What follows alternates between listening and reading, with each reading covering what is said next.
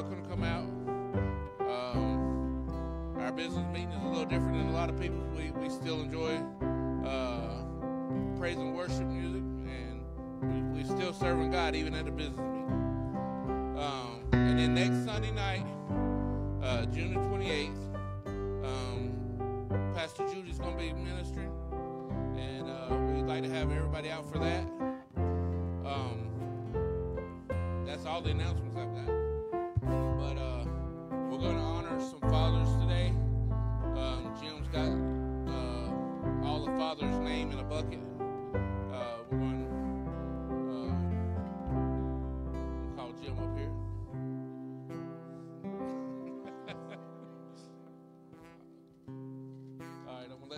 draw. Come here, Tori.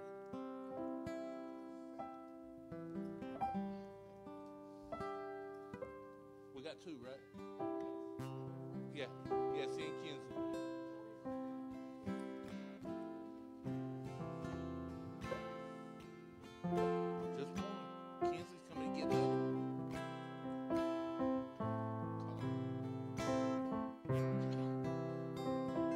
Kinsey.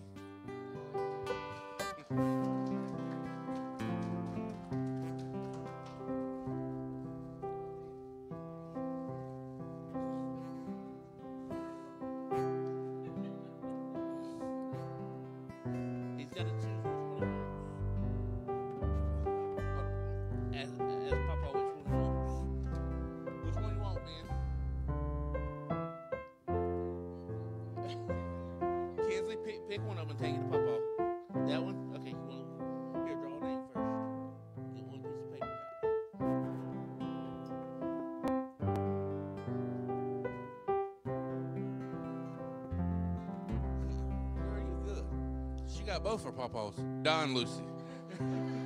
Here, take this one, the, the other pawpaw. I promise that was not rigged.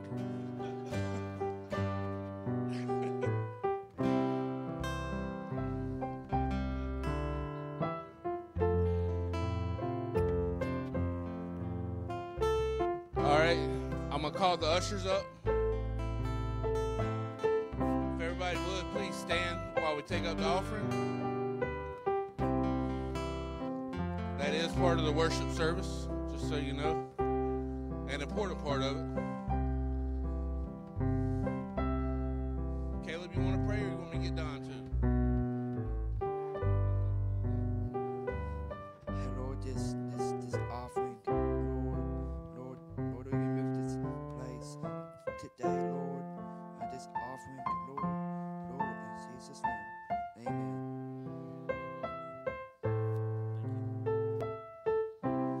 turn it over to Sister Judy.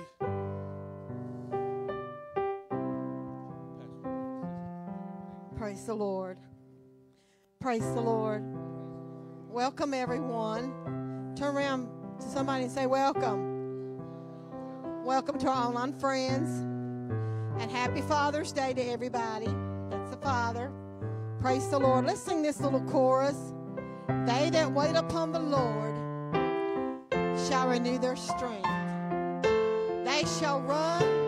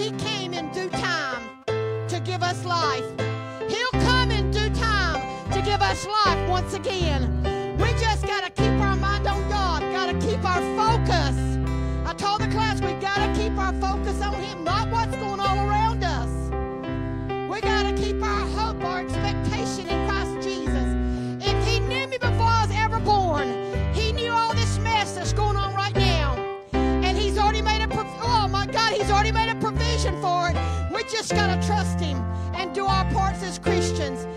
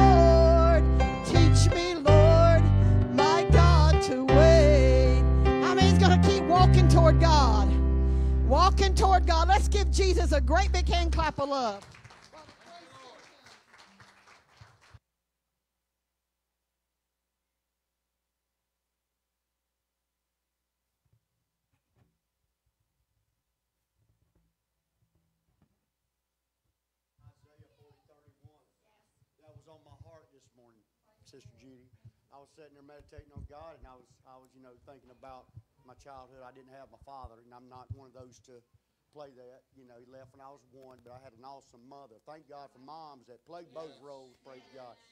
But anyway, as I was sitting there meditating on it, you know, God laid it on my heart. Give thanks unto Him, Abba Father. Yes. You know, thank you. Yes. And and I just want to thank my Lord and Savior. I want to thank God for my Father. I want to thank Him for yes. being my Father and carrying me through. But when you said that Isaiah 4, that was all over me. It's one of my favorite verses, too. So I just want to give thanks to God. Amen. Thank, Thank you, Lord.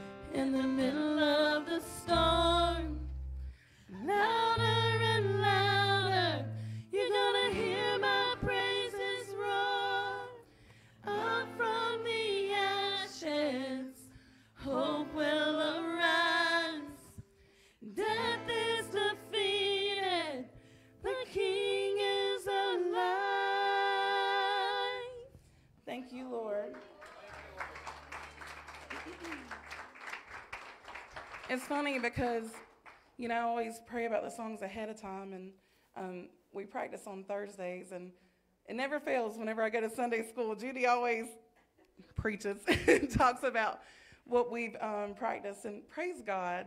Praise God, He's always in the midst.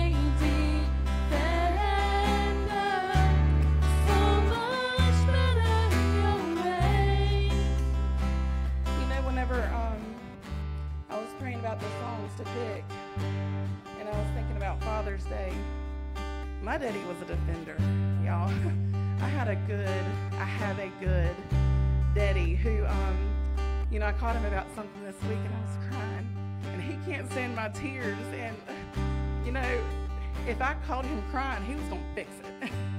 so God is the same way. And Tim, you might not have had a daddy in your life, but I know if something was to happen to your family, you're a defender. So thank God, guys. You might feel like the whole world is coming against you. But your heavenly Father is a defender. He fights for you. He fights battles for you that you don't even know about. He is on your side. If there is anything that's said about you, heaven perks up. Your heavenly Father is ready. He's ready and he's got angels encamped about you to fight on your behalf. So don't you worry. You might feel alone today. You might feel sad. I don't know. Maybe your father's not here. But you have a heavenly Father that is on guard, on guard and ready and waiting to fight on your behalf. He's a good, good Father. He's a defender. Goes before you.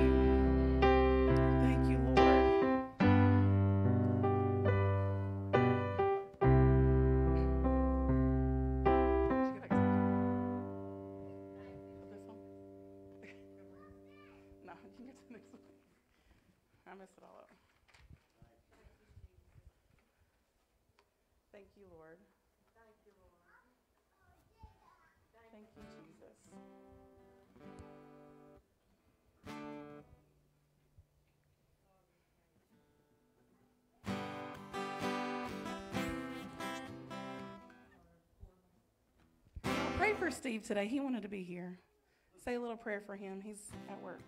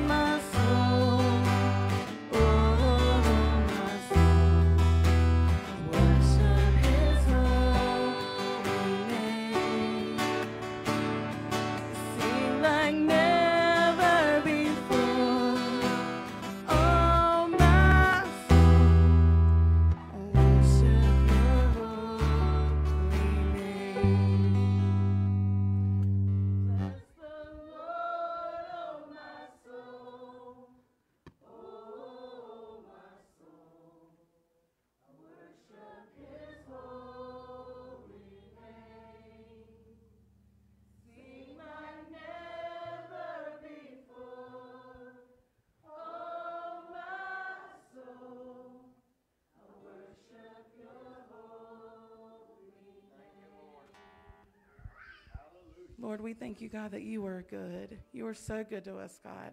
We thank you, Lord, that you're a good father, Lord, that you protect us, that you shield us, Lord. Today we honor you. We honor you above anybody else, Lord, as we always should and as we always will, God. We thank you, Lord, for your presence in this place, God. We thank you, Lord, that we have the opportunity and the privilege, Lord, to come into your house, God. Lord, let us never take it lightly. Lord, we thank you for the word that's getting ready to come forth, and in Jesus' name we pray. Amen. You may be seated as Pastor John comes to bring the word.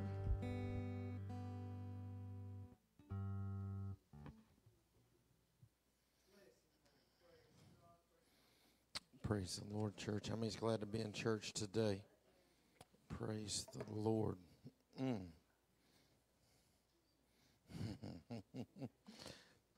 How many's excited for the word today? Mm, I believe that we've got everybody going to be staying out with us today, so we're excited about that. Praise the Lord. Mm. Look over at your neighbor and smile real big. now find another neighbor and smile at them too. Now find somebody across the way and just wave at them.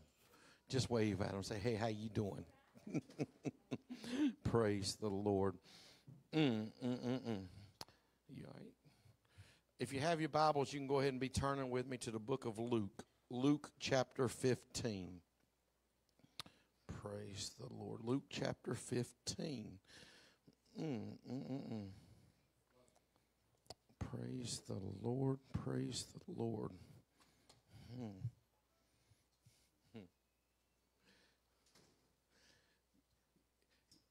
Y'all feel that? They, they, they, we, we need just somebody just do this. Just do this. Just shake it off. Just shake it off. Now, now the other hand say, shake it off. Just shake it off. Look at your other neighbor and say, shake it off. Praise the Lord. Praise the Lord. Mm. Because today we're going to worship the Lord and we're going to praise the Lord. And I don't care what the devil's trying to do, my God is going to be first and foremost in his house. So we're going to believe that he's going to move in this place today. Praise the Lord. Luke chapter 15, I'm going to start reading in verse number 11. The Bible says to illustrate the point further, Jesus told them this story. A man had two sons. The younger son told his father, I want my share of your estate now before you die. so his father agreed to divide his wealth between his sons. A few days later, the younger son packed all his belongings and moved to a distant land. And there he wasted all his money in wild living.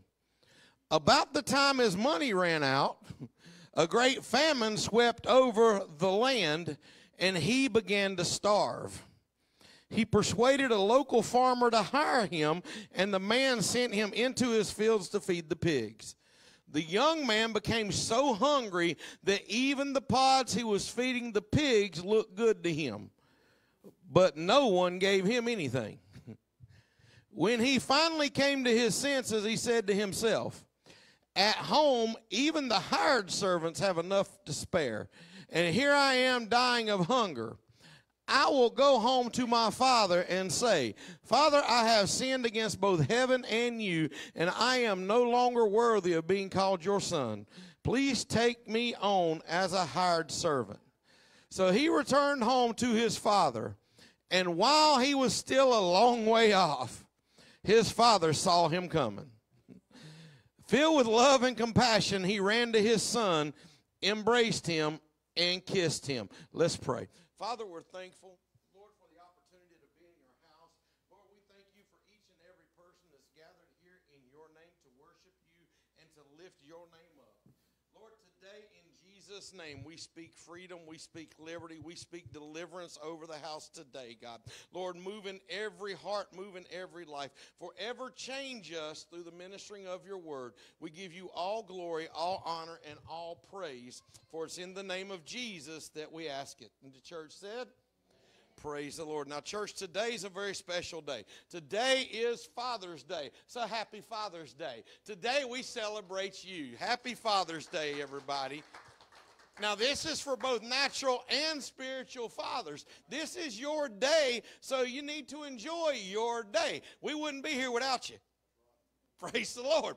So we need to show some love to our fathers today. And I also got to give some appreciation to all the spiritual fathers too. And I'm going to move this. I stepped on this thing like four times last week. So I'm going to slide that back there so I don't break it and I don't trip and y'all don't laugh. How about that? Works out good for everybody.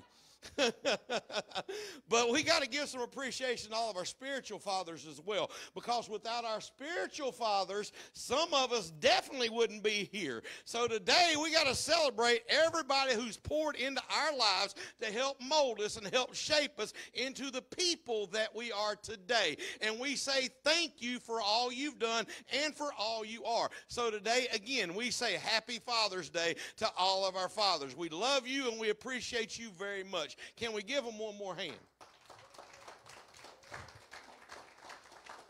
Mm, I got to say, church, I'm excited about what God has got for us today. Just to be quite honest with you, I've battled and I've struggled with this thing all week long, and I got about 10 different messages running around in my head. So, y'all pray for me because I believe the Lord's going to do some amazing things in this house today. But how many know we got to push on through?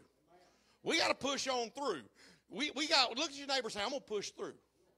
I'm going to push through. I came to get something and I'm going to get it regardless. It doesn't matter if anybody wants to stay down in the mully grubs, that's up to them. If they want to stay depressed, that's up to them. But I came to push on through and get what God's got for me today. How about you? Because God wants to do some amazing things, and I, for one, want to see Him move in His house today. Now, as we move into the introduction, I got to point out a couple things, which honestly, it could be part of the reason why some of us are here thinking, oh, yeah, it's going to be a Father Day. He's going to talk to all the daddies, and he's going to pat them all on the back, and he's going to tell them, y'all just all awesome this and awesome that. But see, this message is centered around fathers in this day, but I want all the ladies to know that this word is for you too, because today's word is not gender specific, it's for all of us. So if you thought you was going to walk up in New Day and hear something that didn't apply to you, mm, that ain't going to happen. So this is for everybody, all right? Okay, now the number two thing I got to point out to you, and I got to say is this I need everybody in the place today to make a promise. Okay, I need y'all to promise with me that we're going to be real today, that we're going to be genuine today, and we're going to be honest. Now, say, why are you saying that for? Well, I just got to tell you because in this, mm, this I already might, might be hurting some feelings in here, but, but a lot of times church folk are the most fake folks you ever know. They'd be fighting for three days at home. Ain't spoke to each other in three days. They walk in the building. It's like, praise the Lord, brother. How you doing? God is just so good. We've been praying for you. You ain't even spoke to each other in three days. You ain't prayed for nobody together. So today, I need for us to be genuine and I need for us to be honest and I need for us to set aside our nervous. I need for us to set aside our what they gonna think mentality. Because see what I believe that if we do that, then the Lord is gonna move in this place and lives are gonna be touched and people are gonna be changed and families will be mended, captives will be set free. So today can be and should be a day where we can leave different from the way we came came in if we're transparent before the Lord. So, can we make that promise together? Because I just got to be honest with you, church. I'm tired of fake. I'm tired of fronts and I'm tired of masks. I came for a genuine experience with God. I came to see Him. I came to meet with Him. And it doesn't matter to me what's going on around me because I'm going to reach out and I'm going to touch the Lord. How about you? Mm. So today we're going to keep on going in our series called Come On in the House. And the title for today's message is this Be There, a Father's Love. Now, I want to give us some context for the passage today so we can appreciate the content of what we're going to dive into. Now, a lot of us have heard this story ever since we was kids. Some of us was brought up in Sunday school and we grew up and we heard it there, or we heard it in vacation Bible school, or we heard it at some point during a church service that we've been a part of. Now, I've preached it and taught it a whole lot of times because, see, it's a very popular Bible story that we've all came to know and appreciate as the prodigal son. Now, Jesus is a type of teacher who used a lot of illustrations and a lot of stories to bring some points across. They're called parables. And in other words, what Jesus did a lot of times is use things that people knew about to teach them things that they didn't know about. Now, in this particular chapter, Jesus tells three stories. He tells the story of the lost sheep, the lost coin, and the lost son. Now, I want to give us a little bit more context so we can appreciate this content because when we jump into this chapter, what we see in verse 1 is this, and this is awesome. To illustrate, uh, that's verse 11, need verse 1. Tax collectors and other notorious sinners often came to listen to Jesus teach. Now, what I already see here, and I'm about to have church by myself, because what I'm about to see here is that the folks coming to hear Jesus wasn't your usual everyday church people. See, the text says that crooks and crazy people came to hear Jesus teach. And that'll preach right there, because I believe that there's people in this world now who's looking for a word. And in a lot of places and in a lot of spaces, they some people in church just keeping certain people from hearing about Jesus. Because, see, the more I think about it, and this may offend some people, but that's all right, because I guess got to say what God put on my heart. But the more I think about it, the more I realize that most people don't have a problem with God. It's church people they don't like. Come on now, church. I believe in a lot of places the church has become its own worst enemy. Because when you got to look a certain way, when you got to act a certain way, when you got to dress a certain way, read the right version of the Bible, pray a certain way, and smell a certain way to be accepted, guess what? That's a problem. But there's some places out there that's got more rules to get in and be accepted than any other place on the face of the earth. But I just believe that in this day and in this hour, God God is raising up a remnant. God is bringing together a group of people who ain't worried about what you look like. They ain't worried about how much money you got. They ain't worried about whether you speak King James or whether you speak NLT. Some of you heard me preach this before, and I hope you never get tired of it because some of us have got have been to realize that the Lord's been mighty good to me, and I ain't got time to criticize and I ain't got time to judge anybody else because I got too much to thank my God for to judge anybody else and condemn anybody else and put them down. And guess what, church? It ain't my house, it ain't your house, so we don't get to make the rules anyway. It's God's house, and He says, Come just as you are. Hmm.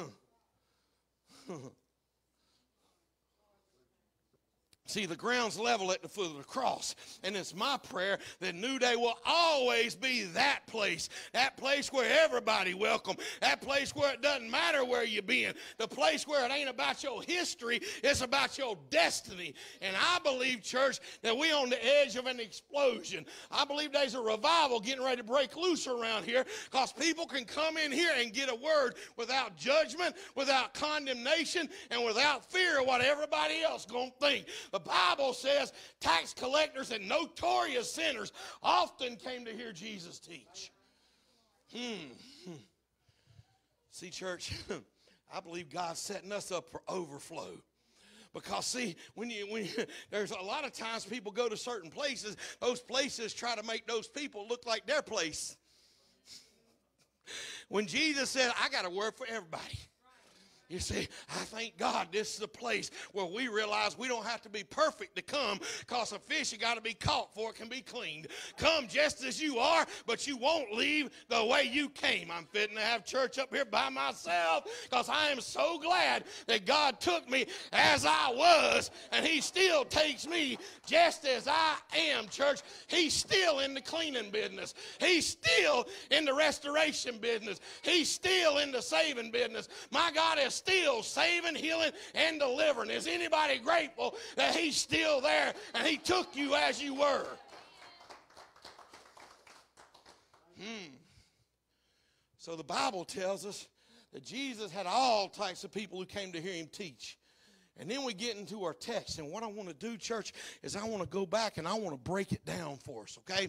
So if we go back and we look at Luke chapter 15, verses 11 and 12, you see the Bible teaches us that Jesus wanted to illustrate a point even more. He told them a story. He said, A man has two sons.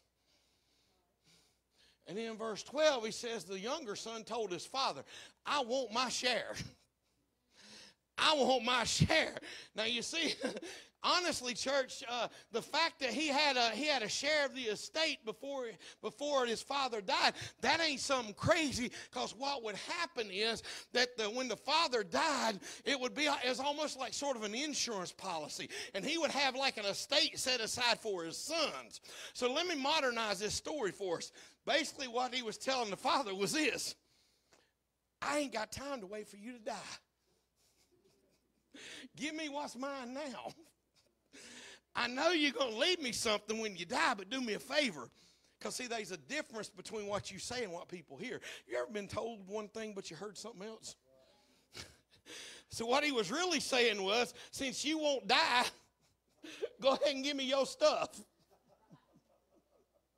Can I say something right here on this Father's Day 2020? I said something similar on Mother's Day, and it's true on Father's Day too. You better love and respect your father and your spiritual fathers. Because what I want to point out is right now, in the, in the time we're living in right now, there's little reverence and little respect for our elders. I can remember a day when I was coming up, if you didn't treat your parents and your grandparents with respect, you might get the taste smacked out of your mouth my Lord, you might have a hard time sitting down to play your video games and a hard time talking on that $400 iPhone if you was disrespecting your parents and your grandparents. I remember that day, church. And one of the things that is so concerning to me as you look at the world we live in today is the younger generation shows no respect to those in authority. I see the way some parents get talked to. I see the way some grandparents are treated. I see the way teachers is looked at. I see the way authority figures are put down. And quite honestly, it's no wonder the world's in the shape it's in because there ain't no honor given to those who deserve it. Ephesians 6 2 says, Honor your father and mother. It's the first commandment with promise. You see, so this father don't work his whole life trying to leave something for his kids. Can you imagine? Some of us ain't got to imagine. But can you imagine going to a job that you don't like? Maybe you can imagine having a boss you don't like and you telling yourself no when you wanted to say yes just so you can leave something for your babies. And then this ungrateful child looks you in the face and says, Since you won't die, just give me everything's due to me now. Can I tell you something? I don't care who you are. You did not get to where you are by yourself. Somebody somewhere poured something into you, something that helped shape you and mold you and make you who you are today. For some, it may be parents. For some, it may be grandparents. For some, it might be that dude that you went to church with when you was a kid. But we all got somebody who poured something into us and helped make us who we are today. Let me tell you something, church. Everything I am today, as a man, as a preacher, as a pastor, as a husband, as a father, as a a human being is because I had some people pushing me and teaching me and shaping me. I am who I am because what others sacrificed to put into me. Thank God for good parents. Thank God for good grandparents. Thank God for who saw for those who saw fit to pour out themselves into my life to make me who I am today. Is anybody grateful for those who poured had enough love for you to not let you go? Even in your crazy, some of you don't know what I'm talking about, but even in your crazy season, even in your, I'll go ahead and say it now because I had one myself, even in your season of stupid, they still prayed for you. They still said, Don't you talk about him, don't you talk about them. I know where he's at now, but that ain't where he's going to land. That ain't where he's going to stay. I'm going to pray him through regardless. I thank God for those who did that for me, that took me under their wing and under their care and helped form me into the man man I am today. And I am so glad that they did. Hmm. Mm. So this man's dealing with some stuff in his house. And it's important to see that the guy we're talking about today is the younger son. Now, younger doesn't necessarily speak to his age. Some of you already know where this is going. It speaks to his maturity. See, I just want to say that I'm thankful that Jesus didn't say how old this guy was. Because if Jesus would have said he was 20 or 20 something, we'd have put every, we'd have put him in a box. Had he said he was 30 something or a teenager, we'd have put him in a box. I've said this before and I'll say it again, but boxes are for things, not for people. So Jesus says, I'm just going to call him younger. Because the fact is, you can be old and still be foolish. You can have a little gray on the top or have a little nothing on the top, but no wisdom on the inside. So, by saying the younger son, it could be in years, but we also know we're talking about not just the years, but also the maturity level. So, the question becomes what happens when they in the house, but they immature? We see it right here in the story. The first thing that happens is he became restless. He tired of having to stay in the house. and I got to submit to you, there's a lot of people who's in the house, but they're restless. And I know there's a lot of folks that's starting to feel a little restless, but we got to use this season we're in for what it is, and that is a season of development. If we don't allow God to grow us and develop us and to mature us, we'll get restless. And I got to let you know the problem I have with being restless is watch this when you get restless, there's two things that's going to start screaming your spirit and your flesh. And can I repeat something I said I was going to repeat many times? Social distancing should lead to spiritual intimacy. And when we begin to get restless, if we won't come closer to God, then flesh will get bored. I'm tired of doing this. Why we got to do it this way? I got to find something to do. And what happens is we choose to try to be entertained instead of trying to be empowered. Mm-hmm. We can find ourselves scrolling instead of praying. We can find ourselves reading everybody else's story and not his story. We can find ourselves talking, talking about everybody else and not talking to him we can catch ourselves doing what we want to do and not what He wants us to do. See, if we ain't careful, we find ourselves having social intimacy with spiritual distancing. And when that happens, we find ourselves in toxic places. Maybe not in our flesh, but in our minds. We can find ourselves in toxic attitudes. We can find ourselves in toxic emotional places if we ain't careful, we can be we can find ourselves being just like the children of Israel. Oh, we had it better back in Egypt. Oh, we we we we, we might have been we, we might have been starving, but at least we did what we wanted to do.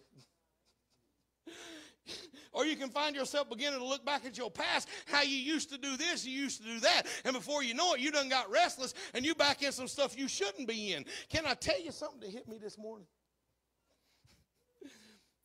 It hit me just this morning. I'm in there, I'm typing like crazy. Different levels of elevation require different levels of training. Mm, some of y'all, mm, some of y'all ain't gonna be happy. Mm, this, might, this, this might hurt some feelings, but a lot of people say they want the next level of spiritual intimacy, but they want the same level of commitment and training. I'll never forget, I coached for over 20 years. I had one parent ever questioned me about my son's playing time and position. Worst possible time to talk to me, too, right after we lost the game. But anyway, when they did, I looked at him and I said, if you want his position and playing time, then pay the same price he paid to get there. Say, what do you mean? Where was you at whenever he was, he was swinging the bat 400 times in a day? Where was you at when he was fielding ground balls for two hours in a day? Where was you at when he was putting the time in, in to get to where he's at? Let me put this another way. When I was in kindergarten, I was able to color and play and take naps and eat snacks and drink Kool Aid. That was fun. But when I went to high school, it's a different world. So for me to be on that level, it required me to not color, play, take naps, eat snacks, and drink Kool Aid. You see, the problem in a lot of areas in the body of Christ is we got a lot of people who want to be in high school spiritually, but they still want to take naps, color, eat snacks, and take naps and drink Kool Aid. Mm. so they talking to some people they shouldn't be talking to. They hanging out with folks who they shouldn't be hanging out with. They doing some stuff they shouldn't be doing. They looking at stuff they shouldn't be looking at. Now, please don't get me wrong, church. I'm not saying they sinning because there ain't nothing wrong with naps, snacks, and Kool-Aid. but if you want to get to the next level, there's some things we got to put down. 1 Corinthians 13 11 said, When I was a child, I spake as a child, I thought as a child, I understood as a child. But when I became a man, guess what? I put away childish things. And a lot of times it's because they got reckless. And we can see the proof of his recklessness, restlessness in verse 13 a few days later, this younger son packed all his belongings and moved to a distant land.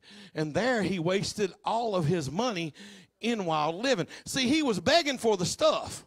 But then in verse 13, there's a time frame between him getting the stuff and him leaving the house. And that lets us know the real problem wasn't that he wanted the stuff. The real problem was he didn't want accountability. Ooh, my Lord, we're going after the devil today. Mm-hmm. See, the problem wasn't he wanted money. The real problem was he wanted his independence. He wanted his way. See, there may be somebody who's watching who's getting irritated who said, Lord, if you do this, then I'll do that. Lord, if you help me have my way, then I'll do this. Can I help somebody today? The problem is, even if God gave them their way, the problem isn't that, that, that they want that. The problem is they don't want God to make them submit. Because the fact of the matter is that God has given people some things that they asked for and they still didn't make a sacrifice. They still didn't change anything about themselves. And their attitude and their actions and their habits are all still the same as they've always been. And they still want God to give them everything they want. Different levels of elevation require different levels. You see, there's people who want God's stuff, but they don't want Him. And now let me flip that coin here because there's people who will like you, support you, be there for you, and promise you the moon until you say no. And then they gone. And it's my prayer that in this season, God will send people who will love me past what I can do for them. I've said it before and I'll say it again. There's some of us who need this season that we in to be a swipe left season. In other words, when toxic people are trying to ring you up, swipe left. Let me put this another way so some of us can get it. I'm about to practice social distancing from non essential people.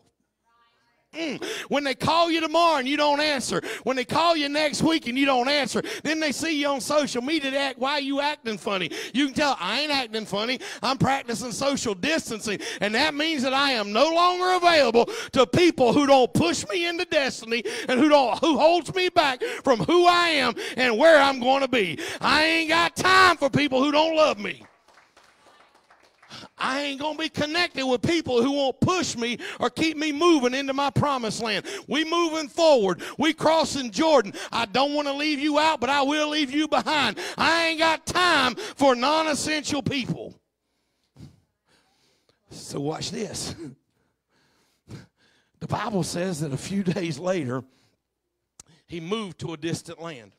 One translation says he moved far away. And some people might ask, how far did he move? That doesn't matter. because any place God ain't in is too far. Any place that God ain't in is too far. And I know there's been people who've taught and people who've preached and people who've said for years that he left the church. But I know some folks that's lost sitting in church. mm because they sitting in a building, but they connected to a group that ain't connected to God. So even though they in the house, they disconnected. So how do I know I'm still connected to God? Because no matter where I am, it's still church. If I'm riding in my car, there's church. If I'm on my job, it's church. When I feel good, it's church. When I feel bad, it's church. In hard times, it's church. Why? Because social distancing should lead to spiritual intimacy. And sometimes God causes or allows certain things to happen to pull me away from certain stuff and certain people so I can get closer to Him. But He allowed Himself to get pulled out of the house. And if we're not careful during this time we're in, there's going to be some who practice spiritual distancing and social intimacy. We got to grow and we got to mature. We got to get more connected to God, or we'll find ourselves practicing social intimacy and spiritual distancing. What do you mean, Brother John? If we're not careful, we can find ourselves disconnecting from God, but connecting to the wrong people. So, because he was disconnected to the in the house, the Bible tells in Luke 15 and 13, and there he wasted all his money in wild living. See, that's important. Not only did he become restless, but his restlessness led him to becoming reckless. The text said he had a season of wild living. So, what does that mean? You ready? A season of wild living is a season where I lowered my standards. It's a season where I lowered my standards. I got to submit to you, he traded all his stuff for some money. So if I can modernize this for us today, he took his inheritance, which was probably some cattle, some livestock, probably a deed to some property, and he traded it in or he pawned it for money. He pawned it for money. He pawned what he had. Now I'm about to tell you some things, and I hope you can receive them because this is powerful and it's strong. Because what's my problem with pawn shops? my problem with a pawn shop is I don't get what it's worth, I get what I can get. The problem I got with a pawn shop is I don't get what I'm worth. I get what I can get. And there's a lot of people right now who's frustrated and irritated because you're wondering why they don't treat you right and why they don't act like they should. It's because they got you on sale. Because you met them in a wild place and they got you at a wild price. And because they got you at a wild price, they only value you at your discounted rate and not your actual rate. Don't you dare pawn off God's property, honey. You are worth way more than pawn shop prices.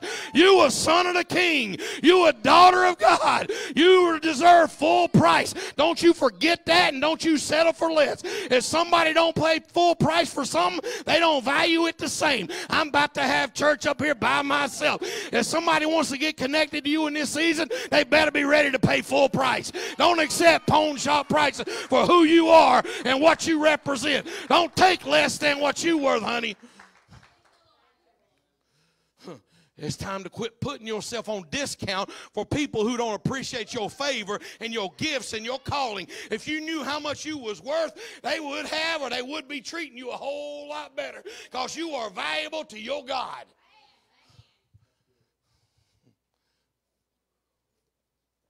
So the text shows us that he's reckless.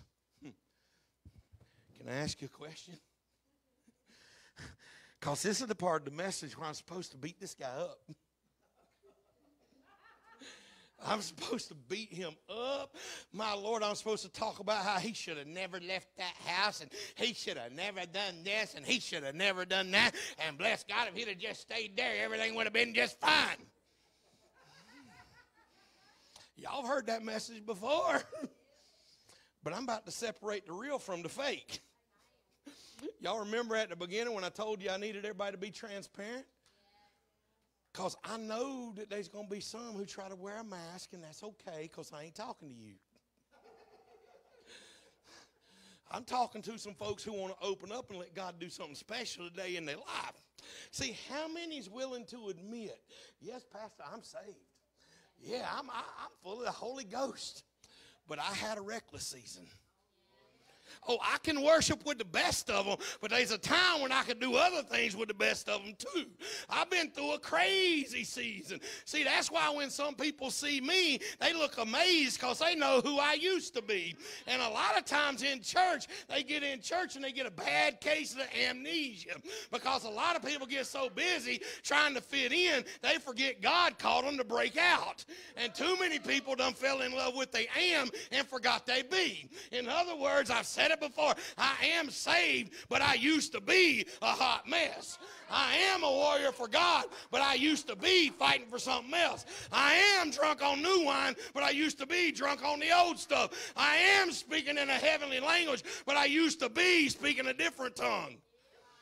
I got to tell you, I ain't shouting because of who I am. I'm shouting because I know where He brought me from and what I used to be. I'm still thankful that God brought me out. So He's reckless. And the Bible tells us He's connected to some people. And sometimes your reckless season is connected to the wild people you connect to. See, people are wild people when they take you backward instead of taking you forward. And that's why focus is so important right now. You see, we can't allow ourselves to get caught up in little minor petty things that don't matter. I made up my mind in this season. I got too much to deal with without having to deal with petty. I need some people and some things who's building my faith. I need some people who's going to help me and not hold me back. So I came to tell some folks that it's time to deal with reckless. Because if we don't take care of our reckless, there'll be a season of reckoning. Because, see, that's what happened in verse 14 in our story, Luke 15 14. About the time his money ran out, a great famine swept over the land and he began to starve. See, I got to read that from a, to a, from a different version. The NASB says, Now when he had spent everything, a severe famine occurred in that country, and he began to be impoverished. See, notice the text told us that the famine hit that country, it didn't hit him. And we need to see this because I know that the Bible says he began to starve. But what we need to see is that a lot of times our prosperity is tied to our geography. Can I preach right here?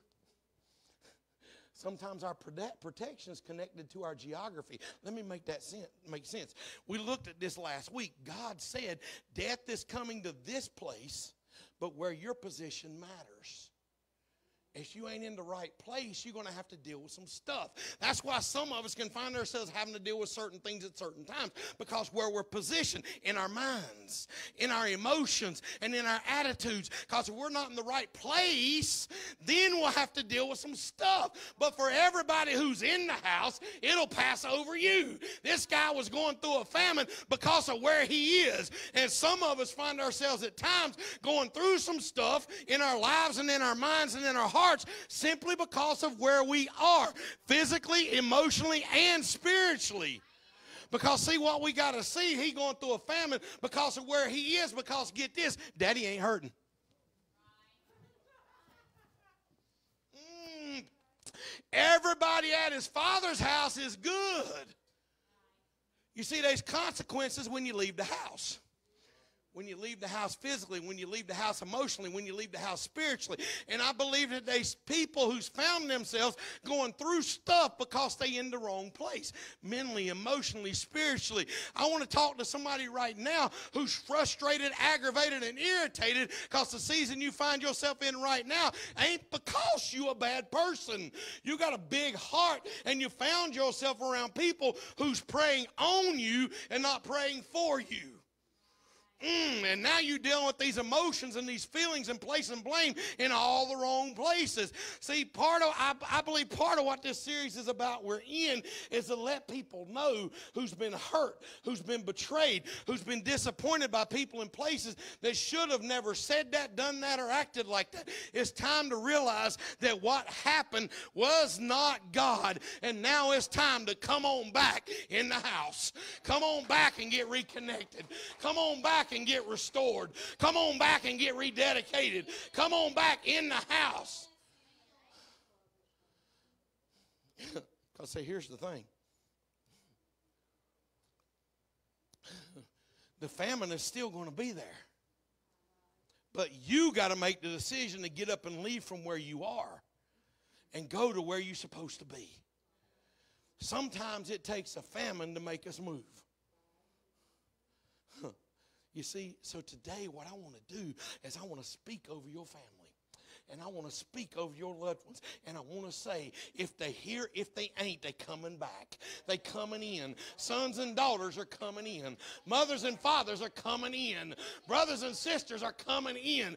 Cousins and uncles and aunts, they coming in. They are coming in.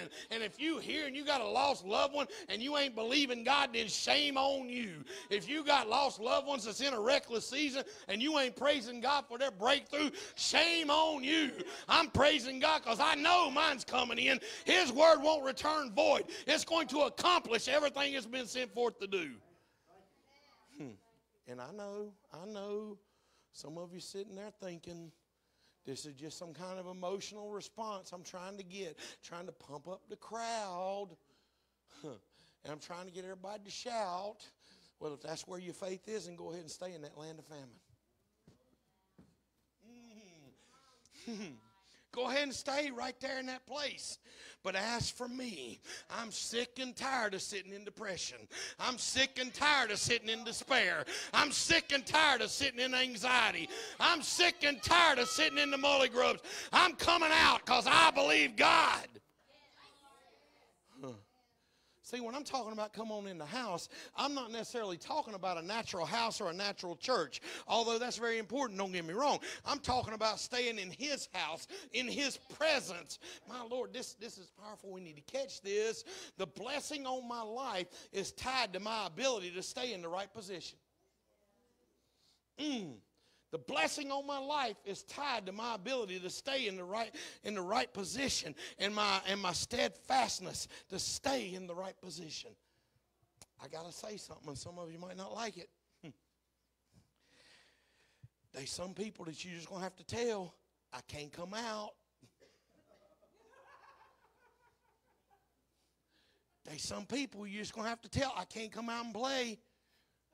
Y'all, y'all may not believe this. Whenever me and Pam we lived in an apartment, whenever um, John was just a just just a small kid, and there was this little boy that lived across the street. He used to come over and knock on the door and want to know if I could come out and play. Can John come out and play? And there was times I told her, I said, no, tell, tell him I can't come out. you see, there's some people you're going to have to tell, I can't come out. I ain't going to let you drag me out of where I am to where you want me to be. I refuse to allow, let you bring me into anger. I refuse to let you bring me into depression. I refuse to let you bring me into bitterness. I refuse to allow you to bring me out the house. You see, something we got to see right now is in Nehemiah chapter 6 and verse 3. Hmm. And I sent messengers unto them saying, I'm doing a great work so that I cannot come down. Why should the work cease whilst I leave it and come down to you? There's too much going on right now. I can't come out. I can't come down. I got to stay in the house. I got too much going on in this season. I got to pray. I got too much going on to get pulled into negative conversations and negative attitudes. God bless you. I love you, but I got to go. God's got a great work for me to do, and I cannot come down. I will stay in the house. See, here's the fact, and we've said this quite a bit here lately the devil specializes in weapons of mass distractions. He knows how to bring you out the house. He knows how to bring the right person or the wrong person, depending on how you look at it, into your life to bring you out.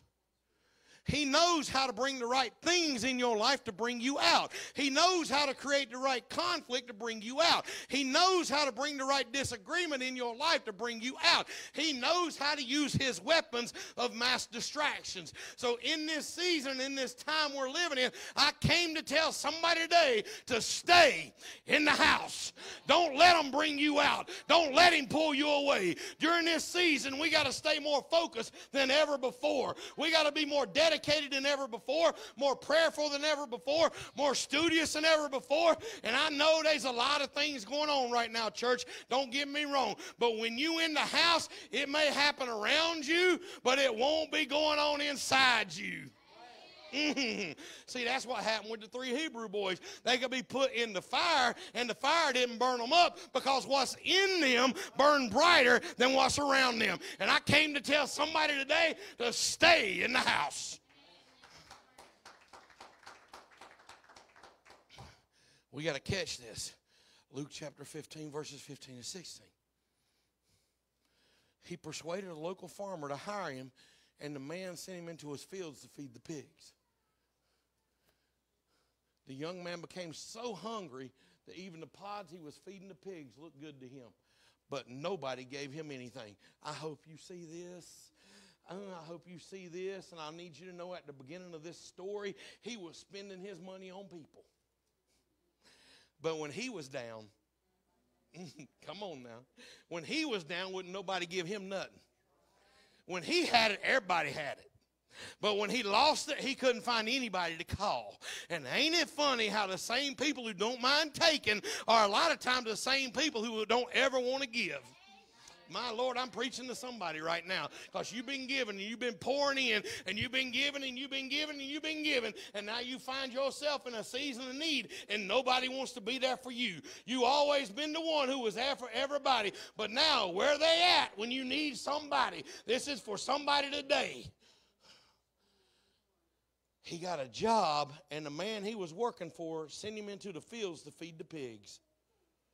Then, verse 16, the Bible tells us he became hungry. So, my question is this How you working and ain't getting paid?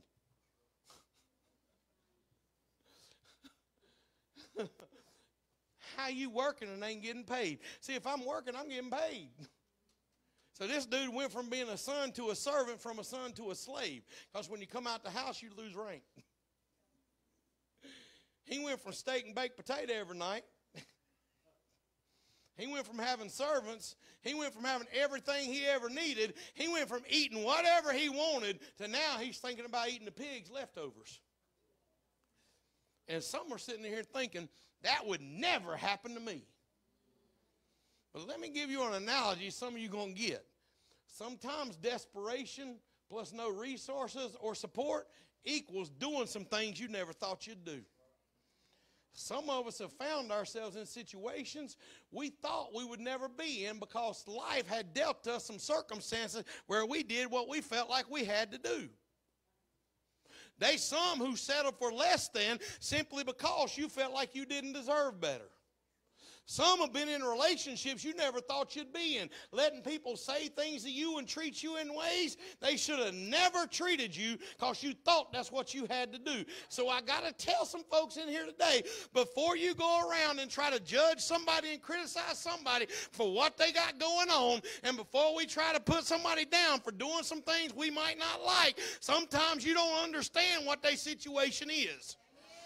Now, please don't get me wrong because there's going to be somebody going to watch this video and they're going to go around they're going to say, oh, he was up there telling people they can do what they want, live any old way, and not worry about it. No, ma'am, and no, sir. I'm not saying I agree with doing wrong or I agree with sin. But what I am saying is that the church for too long has turned up, and oh, y'all got to leave me, y'all got to pardon me because I get emotional when I start talking about this. But the church for too long has turned up. They self righteous, nose and said, Well, they will never come in my church looking like that. They will never come in my church acting like that. They will never come in my church smelling like that. Oh, they smell like this and they smell like that. But guess what? You smell like hypocrisy and judgmental religion. And to me, my Lord, to me, that stinks worse than anything they could smell like. It's time to kick the religious spirits out the church because guess what, church? They exactly right. They will never go in your church, but bless God, I hope and pray they go in His. My Lord, I hope and pray they find their way to New Day. I pray they find their way to a place that'll love them just like they are and help lead them and help guide them and help mentor them and help disciple them until they can go out and make disciples of others.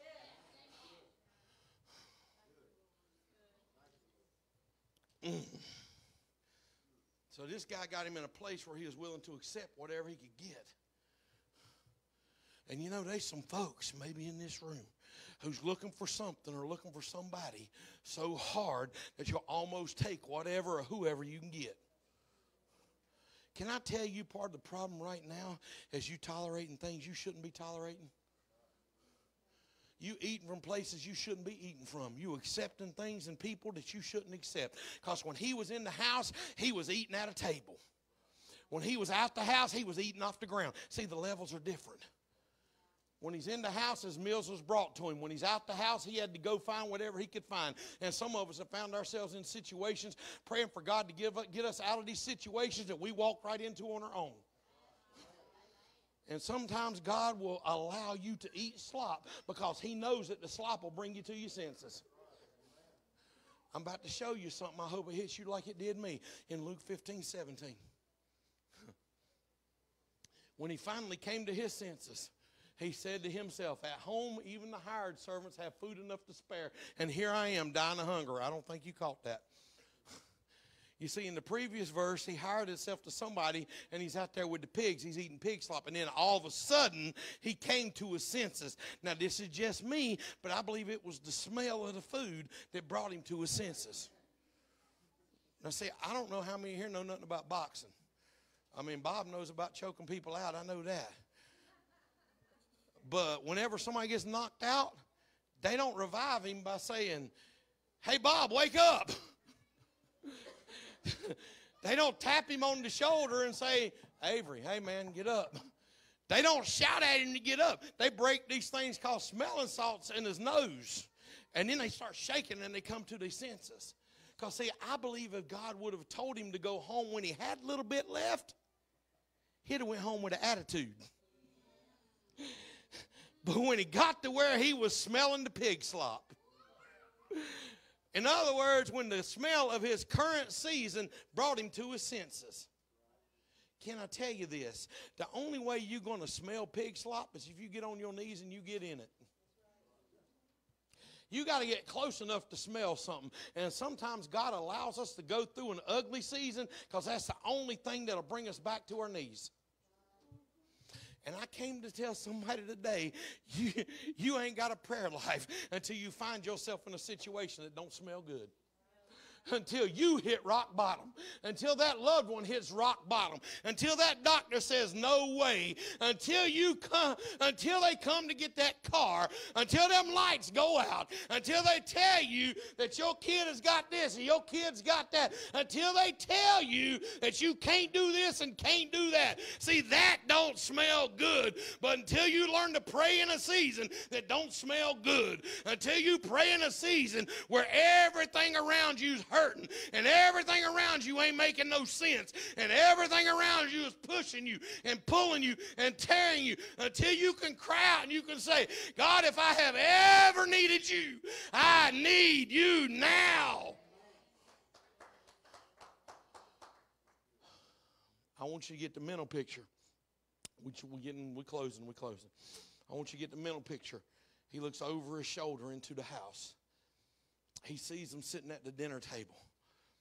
They laughing, they joking, they eating, they having a good time. And the people he's looking at probably don't even have what he left to be where he's at now. And they look so happy. And then he reaches down to get those leftovers. And he's like, I can't eat this anymore. But then his stomach starts growling. Let me tell you this when your stomach's growling, that means you're hungry. And these folks who's been hanging with the wrong people who your mind don't like, but your stomach started growling. You needed some friends. There's some folks that's finding themselves doing some things that your mind just don't get, but your stomach's growling. There's some people who can say this in this room, I've made some bad choices on an empty stomach. See, when you get hungry long enough, you start doing things and you start acting in ways you wouldn't normally act. You start saying things you normally wouldn't say, and you start doing things you normally wouldn't do. And there's some people who've been practicing social distancing without spiritual intimacy, and it's created a gap and an empty place. And God's saying to you today, Psalms 34 and 8, taste and see the Lord is good. Jesus is saying in John 6 and 54 to eat his flesh and drink his blood. Jesus is saying, get in my presence. Fill your spirit. John 4 14. So he looks around and he reaches out and he grabs that piece of leftover food and he brings it close to his nose. And I believe the smell triggered something in him and he remembered his house. And it says in Luke 15 17, when he came to himself, and can I just tell some folks something? It's time for some of us to start having some conversations with ourselves. Some of us need to tell ourselves it's time to stop playing. It's time to become all that God wants me to become. Some of us need to tell ourselves it's time to stop running. It's time to do what I'm supposed to do. It's time to stop settling for average and mediocrity. It's time to start telling ourselves you better than how you acting. You better than how you've been doing. You better than that. There's a calling and there's a gift on the inside of you that needs to come out. I am who God says I am. But I got to have a conversation with myself. Hmm. God says your season of being down is about to be over. He wants to do a new thing. Isaiah 43 19. Behold, I do a new thing. Shall you not know it? God wants to do something special in your life. Come on, musicians, y'all, come on. I'm closing, but I got to show you this. Man says, I got to go home because where I am is beneath me. I'm about to go home, and today I got to declare over somebody's life you'll no longer settle. You will be focused, you will be locked in. So as they begin to play, if anything I say in these next few minutes touches your heart to the point where you say, I need to talk to God, then I need you to know this altar's open. And this is going to be strange and it's going to be different. I can go ahead and tell you that now. But remember what we said at the beginning. We're going to be honest and we're going to be transparent before God. And while we're worshiping,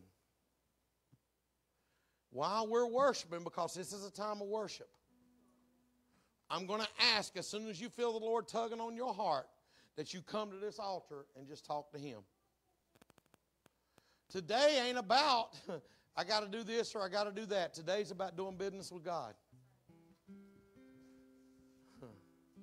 God wants to take us to another level, but it starts with self assessment.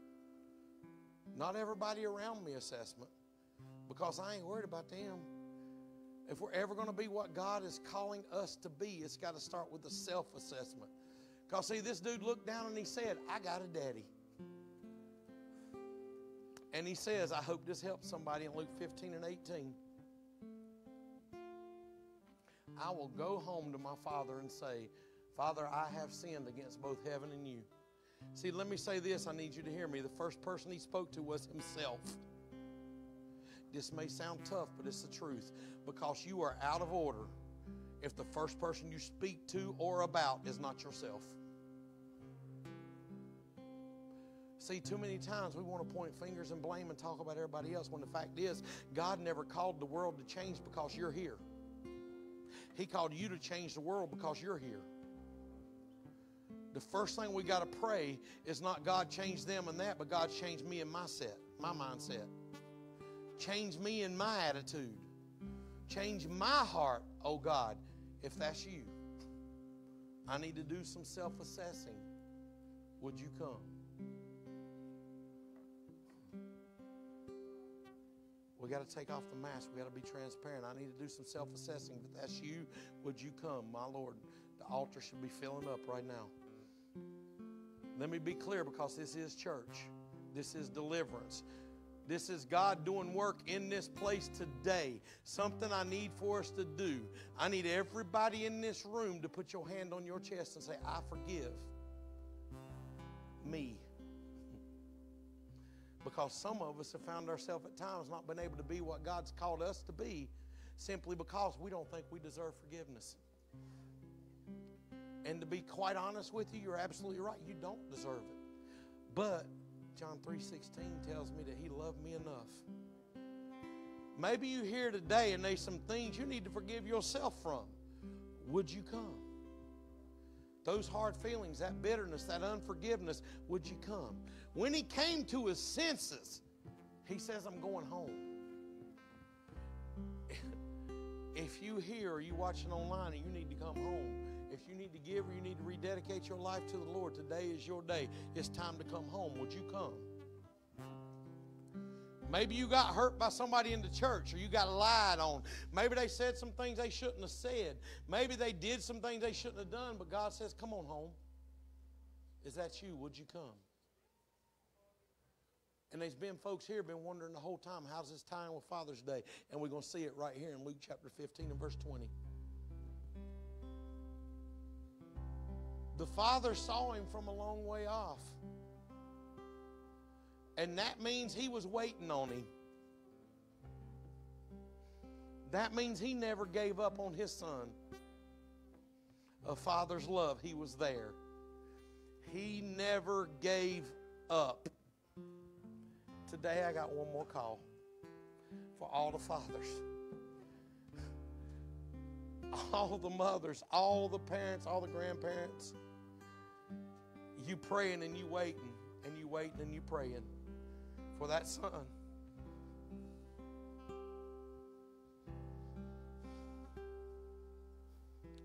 You waiting for that little girl. And you sitting on your front porch and you looking down the road and you're saying, Lord, just send them home. The father didn't sit on the front porch doing nothing.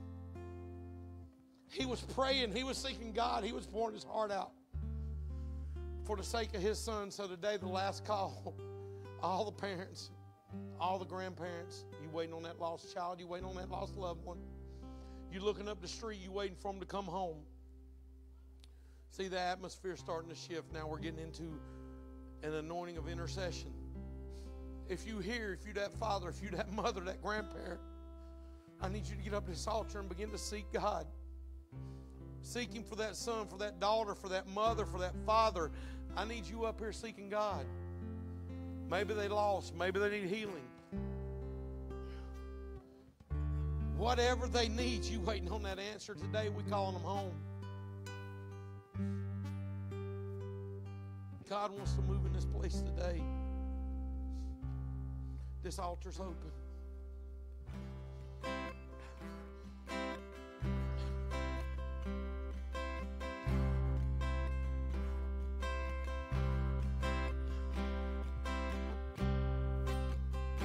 This altar's open.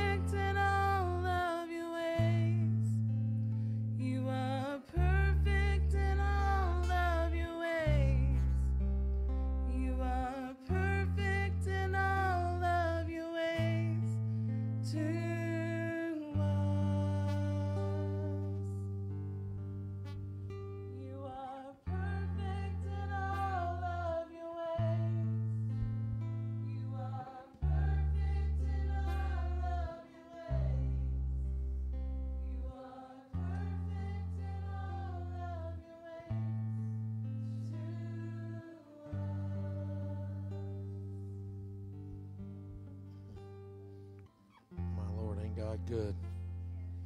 Praise the Lord. Mm. All hearts clear today?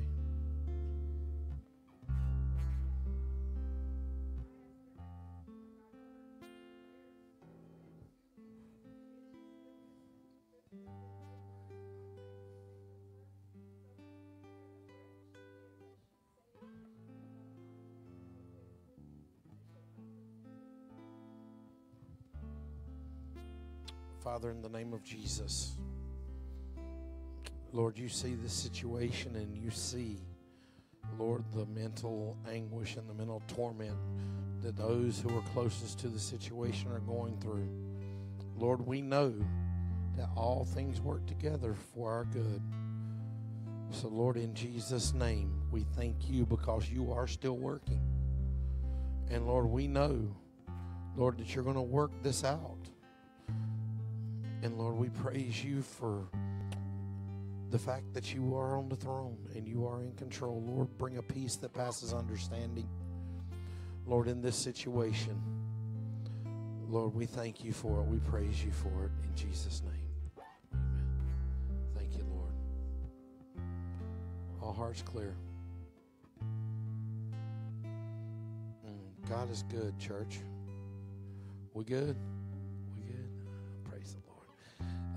Don't um, forget about